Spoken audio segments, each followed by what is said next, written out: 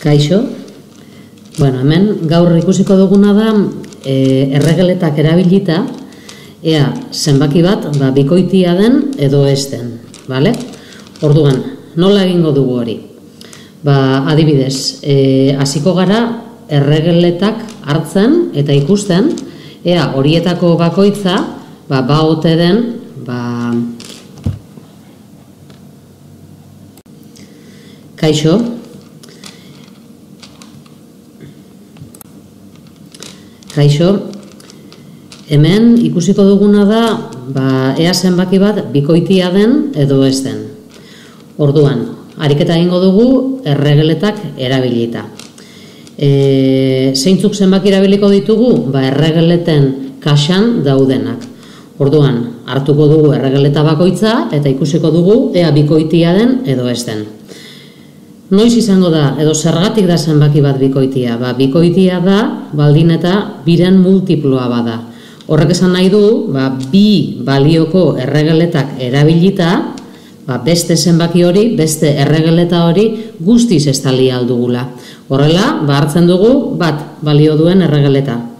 Eta galdera da, bat bikoitia da, bestera baten esan da.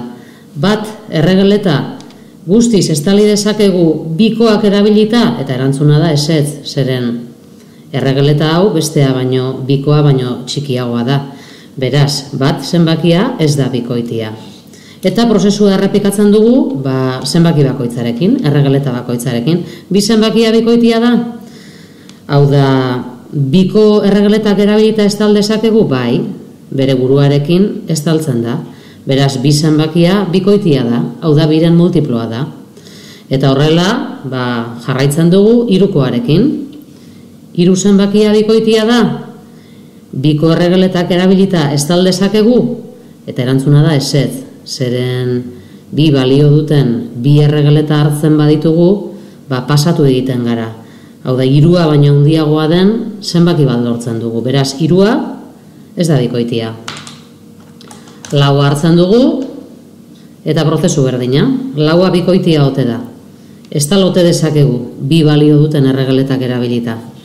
Eta ikus daitekeen ez bai.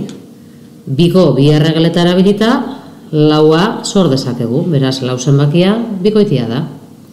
Salto egingo dut, beste zenbakia handiago batera, adibidez, saspia. Saspia bikoitia ote da. Betetzen hasten gara, biko erregeletak erabilita, eta laugarren erregeleta baia pasatu egiten da. Beraz, zazpi zenbakia ez da bikoitia, ez da bi zenbakiaren multiploa. Ezin da, biko erregeletak erabilita ez li. Beste bat handiagoa, amarra hartuko dugu, amar zenbakia bikoitia ote da. Azten gara parean jartzen, irugarren biko erregeleta ere behar du, laugarrena ere bai, bosgarrena ere bai. Eta argi ikus daiteke, amar zenbakia, ez tal daitekeela, bi balio duten erregeletak erabilita. Beraz, amar zenbakia, bi zenbakiaren multiploa da. Orduan, hau ikus daiteke, ba, erregeleten kaxan dauden bat amar bitarteko ba, erregeletak erabilita, ezta? Era berean, ba, zenbaki bikoitien propietate batzuk ere manipulazio bidez ba, ea betetzen diren froga ditzakegu. E, zeintzuk, ba, dibidez ikaslei galde diezaiek egu, ba, zenbaki bikoiti bat hartzen badut, eta beste zenbaki bikoiti bat hartzen badut, hau da, bi zenbaki bikoiti hartzen baditut, ea, beraien batuk eta zenbaki bikoitia izango den. Orduan, bi zenbaki bikoiti hartuko ditugu eta galdera izango da. Beraien batuk eta zenbaki bikoitia izango ote da. Badakigu horietako bakoitza bikoitia den aldetik, ba, biko, bi balio duten erregeletak erabilita, ez tal daitezkeela. Adibidez, ba, zeia hartzen badugu erregeleta berdea, ba, ikus daiteke biren multiploa dela, hau da, seia bikoitia da. Berdina, amarra hartzen badugu, lehen erabili duguna, adibidez, amarra esan dugu bikoitia dela. biren multiploa da. Bi balio duten bost erregeleta behar ditugu amar hori osatzeko. Eta zeiaren eta amarraren batuketa bikoitia izango te da, ba, noski baietz.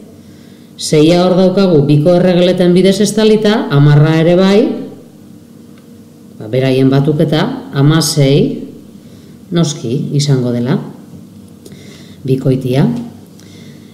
E, ze gertatzen da kenketarekin? Bizen baki bikoiti hartzen baditugu, beste bat hartuko dugu, amarraren ordez, ba hartuko dugu adibidez, sortzikoa. Sei, bikoitia da. Sortzi, ere, bikoitia da. Vale?